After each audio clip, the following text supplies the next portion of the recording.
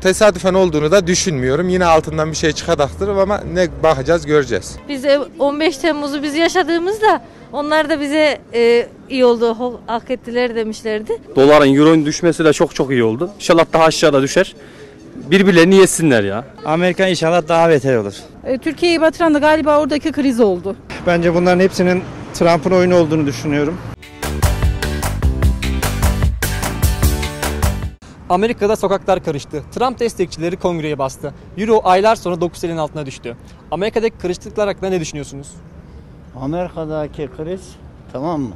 Trump'un diktatörvari tavrından dolayı ben bu iktidarı bırakmam şeklindeki söyleminden kaynaklanan bir olay. E, şimdi demokrasiye inanan toplumlar seç, demokrasiyle gelirler, seçimle gelir, seçimle gider. Ama sen ben yenildim, seçimi kaybettim ama yine bırakmıyorum diyorsan orada mutlaka karışıklık olur. Ve bunun eseri karışıklıkta. Ne düşünüyorum? Direkt şunu söyleyeceğim. Gayet normal. Ee, sonuçta Amerika dünyayı karıştırıyor her şekilde. Kendileri de karışacak sonuçta. Ee, bu tabii ki dünya ekonomisini de etkiliyor. Açık söyleyeyim, şunu da söyleyeyim. Uzun yıllardır da e, haber dinlemeyi de bıraktım. Çünkü artık e, insanların psikolojisi bozuldu. E, normal olarak bizim psikolojimiz de bozuldu. E, sonuçta şunu bekliyoruz. E, umarım her şey 2021 yılı için daha iyi olur. Bence hak ettiklerini yaşıyorlar. yani şunu söyleyebilirim. Bu kadar insan hakkına girdiler. Herkes biliyor zaten. De oradaki insanlar da masum. Tezlikle güzel olsun. Hiç kimseye biz Türk halkıyız. Hiç kimseye kötülük arzulamayız. Doğru çok arzulayan var ama Allah yardımcılar olsun. Ne diyebilirim? Amerika'daki kriz normal. Adam gitmek istemiyor. Trump'ın e, başından beri yapmak istediği şeydi bu. E, ama dün biliyorsunuz senatoda okeylendi. Bu gidecek yani öyle veya böyle. Ve cezası da var. Ha Türkiye açısından bunu iyi midir kötü müdür diye sorarsanız iyi yanları da var, kötü yanları da var. Trump biliyorsunuz e, Ermeni tasarısını geçirmemekte hem Temsilciler Meclisi'nden geçti biliyorsunuz hem de Senato'dan geçti. Ee, başkana gelince kaldı. Bunu Biden yapar mı bilemem ama önümüzdeki sene aslında önümüzdeki sene dediğim bu 24 Nisan bizi büyük olaylara gebe. İnşallah daha kötü olur. Çünkü yaptığını çekiyor. Dünyaya karıştıran o, o da çekecek inşallah. Herkes ettiğini bulur. Her devlete elini uzattı, sonunda da kendi belasını buldu. İnşallah daha kötü olur. Trump yandaşları olduğunu düşünüyorum. Bu ülkeyi daha çok karıştırmak içindir.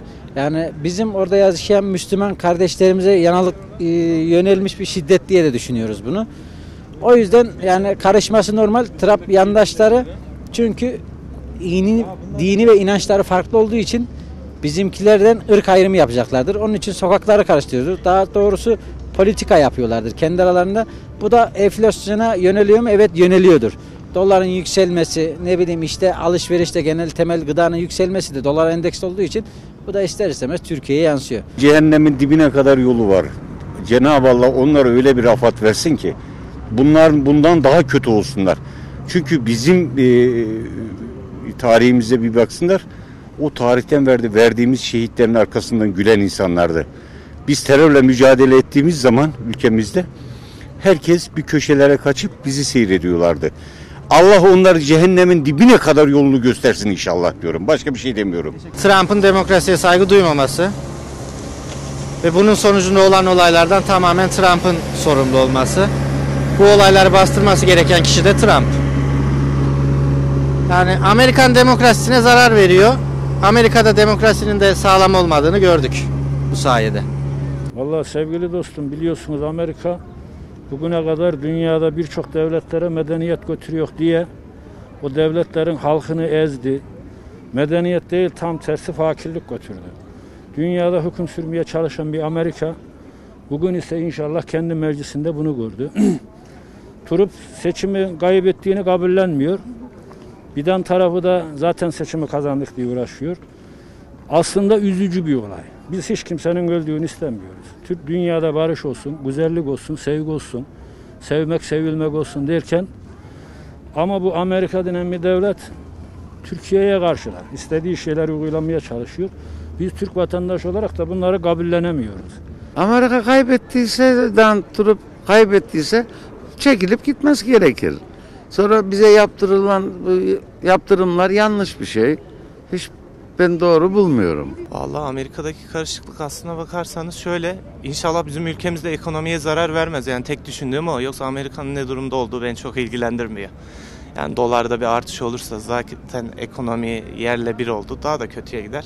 Tek korkum o yani. Onun dışında başka bir şey yok. Valla e, siyasetle ilgili şu an çok bir bilgim yok. Siyasetten artık ekonomik güçlüklerle yaşıyoruz ülkemizde. O yüzden siyasete vakit ayıracak, kafa ayıracak durumda değiliz. Şu an tamamen ev ihtiyaçlarına, ekonomik duruma, pandemiden dolayı zayıflayan ekonomimize yönelik e, ihtiyaçlara yönelik e, bilgi, şey yapıyor, yöneldik. O yüzden Amerika'daki iş karışıklığında tesadüfen olduğunu da düşünmüyorum. Yine altından bir şey çıkacaktır ama ne bakacağız göreceğiz. Hak ettiler diyorum. Sadece bu kadar diyorum. Biz de 15 Temmuz'u biz yaşadığımızda onlar da bize e, iyi oldu, hak ettiler demişlerdi. Bence onlara da iyi oldu.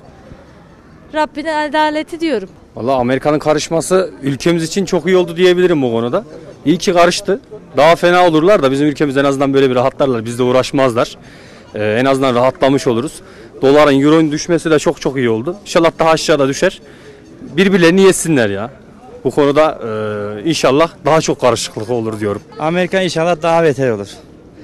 Benim abim de zaten yurt dışında orada Amerika'da yaşıyor kendisi 30 senedir orada. O da kendisini kendisi dile getirdiği zaman bunları söylüyor zaten. Şu anda karmaşık bir durum var. Ee, abim diyor dışarı çıkamıyoruz diyor. Benim diyor çocuğum var diyor. Ee, yağma yapıyorlar diyor. Bayağı bir de sıkıntı yaşıyoruz diyor. E, Türkiye'yi batıran da galiba oradaki kriz oldu. Bunu düşünüyorum gerçekten. Oradaki şeylerden tamamen Türkiye de etkileniyor. Ve doğal olarak bizler de etkileniyoruz. Enflasyon olsun, ekonomi olsun. Onların sayesinde bu durumdayız.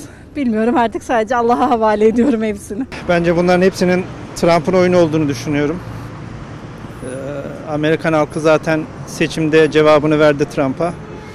Ee, bunlar Trump'ın son çırpınışları diye düşünüyorum. Yani her şey normale dönecek. Ee, John Biden da neticede Amerika'nın yeni e, devlet başkanı olacak.